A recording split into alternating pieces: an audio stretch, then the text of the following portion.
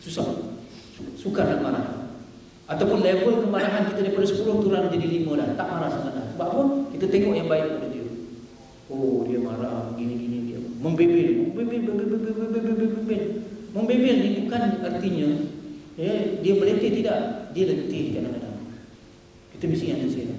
Tapi kadang-kadang bahasa-bahasa cinta dalam rumah tangga, minta maaf ya, bahasa-bahasa cinta dalam rumah tangga tak dipahami. Tapi bahasa-bahasa cinta di luar rumah tangga masa kahwin, masa belum kahwin memang faham betul. Okay? Ini kadang-kadang isteri kita kata cakap kat kita ya. Bang, abang dah lama tak makan tom yam. Abang dah lama tak makan tom yam. Wih, abang baru ni kat awal ada tom yam paling sedap kat KL ni. Itu dia tak faham bahasa cinta isteri dia tu. Isteri dia kata, bang nak makan tom yam. Cuma dia cakap, bang, abang dah lama tak makan tom yam. Dia cakap pada abang, abang ni tak tahu bahasa. Terus cakap itu. Saya suka kena juga itu. Telefon. Isi telefon. Uh, uh, pada seorang suami. Anak sakit ni. Kata. Anak sakit ni. Macam mana tahap sakit anak? Okey ke? You boleh handle ke? You boleh handle. Ha, terima kasih ya. You handle kan? Ha, itu hasil. Yang dia telefon tu sebenarnya nak bagi tahu. Boleh faham maksud saya. Ya? Jadi bahasa-bahasa ini hanya dipahamkan. Ya? Ingat-ingat para suami dan para isteri juga. Kita kena dengar bisikan. Kalau kita tak dengar bisikan, kita terpaksa mendengar jeritan. Boleh faham kan? Kena dengar bisikan. Kalau tak dengar bisikan, kena dengar jeritan. Ha, itu. Maksudnya kita kena cepat respon. Dan kalau kita ada kasih sayang dan ada cinta, macam mana? Kita boleh mendengar sesuatu yang tidak diperdengarkan. Boleh faham ya? Kita boleh mendengar sesuatu yang tidak diperdengarkan. Maksudnya kita boleh baca body language pasangan kita. Seperti mana Rasulullah SAW di saat sakaratul maut, di saat-saat nak meninggal dunia, nak saat-saat nak wafat, Rasulullah tengok ada seorang sahabat bawa sugi. Rasulullah tengok sugi itu. Siti Aisyah ada sebelah. Walaupun Rasulullah tak boleh bercakap dah sebab saat itu dah dah kritikal. Tapi Siti Aisyah dia faham body language Rasulullah. Rasulullah nak bersugi tak? Dia tahu Rasulullah nak bersugi. Rasulullah apa ni Siti Aisyah ambil sugi itu dan lembutkan dengan mulutnya dan sugikan Rasulullah. Artinya Siti Aisyah boleh mendengar sesuatu yang tidak diperdengarkan. Boleh faham maksud? Ini kadang-kadang isteri kita dah mendengarkan dah pun. Tak dengar-dengar juga. Berbanding, saya tanyalah kalau anda sikit. Berceloti sikit ya. Kita baru beli kereta. Bila baru beli kereta, kita bawa kereta. Kita baru beli. Tapi bunyi ada tek, tek, tek, tek. Wah, terus pergi mobil. Apa bunyi tek, tek tu? Tapi kalau isteri kita datang bang, sejak akhir-akhir ni bang, badan saya lemur-lemur, duduk dah kebal-kebal, biasalah dah tua. Ha, itulah kita punya respon ya. Jadi sayang siapa? Sayang kereta ke sayang isteri? Ini kan pasal kaki balik. Boleh faham maksud saya? Dan kita tak akan, kita akan belajar menghargai bila saat-saat akhir. Agak-agaknya, kalau satu minit lagi kita nak meninggal dunia, kita ada satu panggilan nak buat dalam telefon. Orang yang kita pilih siapa? Tentu isteri kita dan kita pilih apa? Jaga solat dia. Takkan dalam satu minit lagi kita nak meninggal dia. Tolong jaga kereta saya ya. Tolong jaga kat rumah saya. Kita kita kita belajar menghargai orang yang hidup.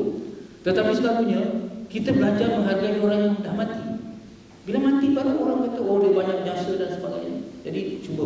Jadi cinta merawat cinta dalam rumah tangga ialah yang pertama kalau orang lelaki belajar bertanggungjawab ketika cinta demam tanggungjawab akan merawat oh tanggungjawab kita ini kita teruskan jalankan tanggungjawab kita ya pertama nafkah lahir nafkah lahir kita nak jaga walaupun hati kita ni dah beku sikit okey dalam susu sikit dan jenuh dah sikit tapi tak apa.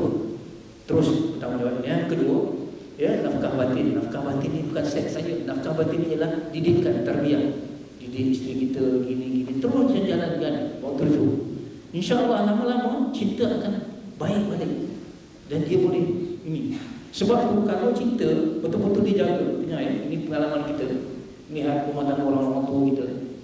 Selalunya apabila cinta tu bertahan sampai tua, sampai tua cinta, sama-sama cinta, selalunya bila suami pergi, isteri tak lama dah. Dua tiga bulan pada isteri pergi juga. Selalunya begitu. Sebab dah tak mampu hidup untuk menanggung sendiri. Sebab dah terlalu rapat.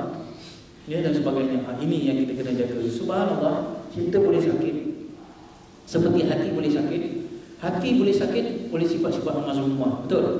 Begitu juga cinta boleh sakit Kerana sifat-sifat mazmumah Apa dia sifat mazmumah yang menghalang paling cinta? Minta orang perempuan minta maaf ya, saya nak bercakap. Kalau lelaki diukur pada tanggungjawab, perempuan diukur pada kesetiaan. Sebab tu kali apabila suami datang, saya ada masalah tuan kali, saya ada masalah dengan isteri, kali akan tanya, ada orang ketiga tak? Ada curang tak? Kalau tak ada curang, tak adalah orang ketiga Ustaz, tapi dia ni tak tahu kalau baby kalau ini, ah tak apa, itu boleh diatasi.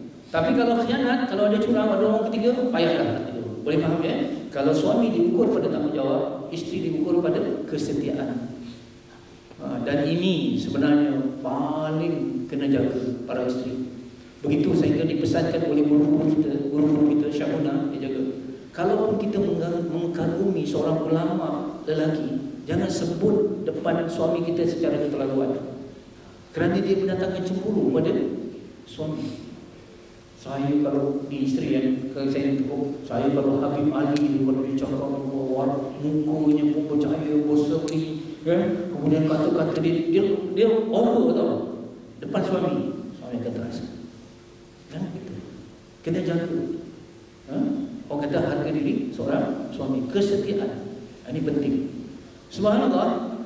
Kalau kita jaga kesetiaan kita seperti mana Rasulullah kata jangan bawa orang lain yang tidak disukai oleh suamimu ke dalam rumahmu. Rupanya Rasulullah ada bersifat futuristik. Rasulullah ini suarikul mastuk. Benar lagi dibenarkan. Artinya jangan bawa orang lain yang tidak disukai oleh suami kamu ke rumah kamu. Artinya apa? WhatsApp group kita. Facebook kita. Dan sebagainya betul. Eh? Sebab itu pesan. Kalau kita uh, kita ada uh, sekretari ataupun kita ada pembantu di rumah kita uh, di pejabat kita Hadkan waktu urusan pejabat hanya di pejabat. Jangan pukul satu malam, pukul dua malam, eh, main yang saya itu boleh ada lagi, biasa. Kita menghormati hak dia dengan suami dia. Kita jangan masuk. Isteri pun begitu.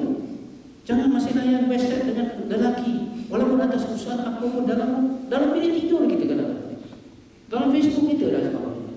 Jadi Rasulullah kata jangan bawa orang lain yang tidak disukai oleh suamimu ke rumah katanya bukan saja bersifat fizikal itu bawa orang tetapi bersifat sekarang ni through ha? internet through maya dan sebagainya kena jaga ini urusan-urusan negara ni ya subhanallah sebab itu dengar ya ketika para sahabat Rasulullah SAW selepas kewafatan Rasulullah bercakap dengan Ummahatul Mukminin Siti Aisyah masih lagi bertabir.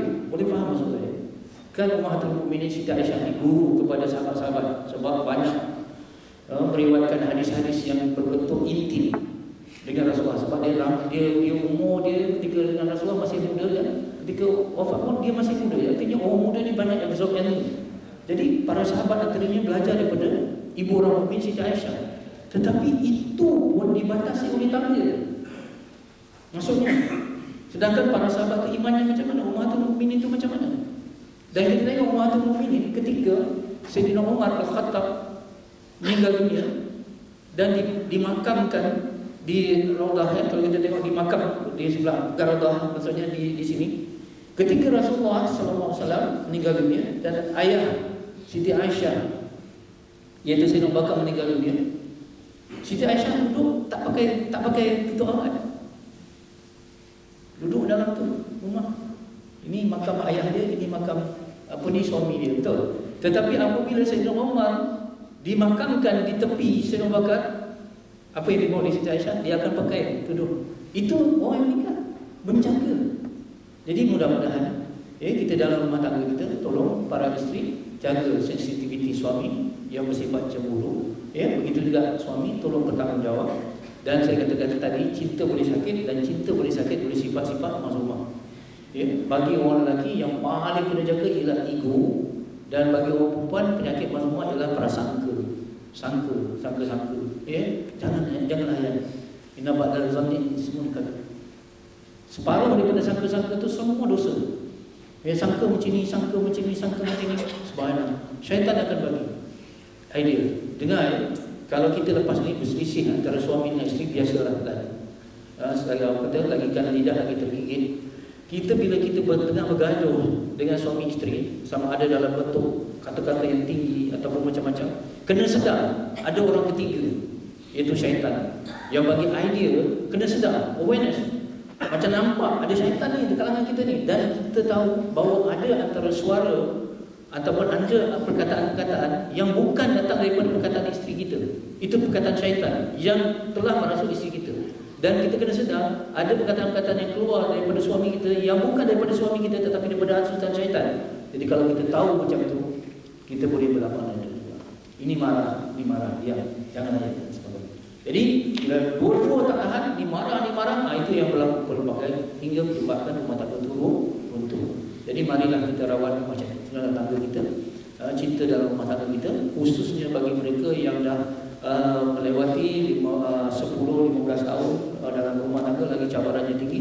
Semakin tinggi pokok yang kita panjat, semakin tinggi uh, semakin tinggi pokok yang kita panjat, semakin kuat angin yang menggoyang. Maksudnya semakin usia rumah tangga itu makin ke depan, makin banyak ujian-ujian sebab syaitan dia tak suka rumah tangga kita aman. Ya, yeah?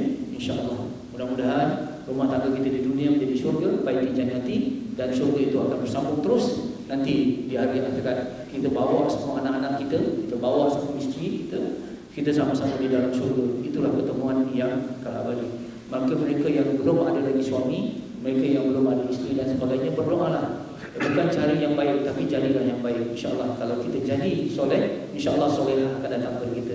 Kalau kita jadi soleha insyaallah yang soleh Allah hantar kepada kita. Ya? Bukan cara yang baik tapi jadilah yang baik insyaallah.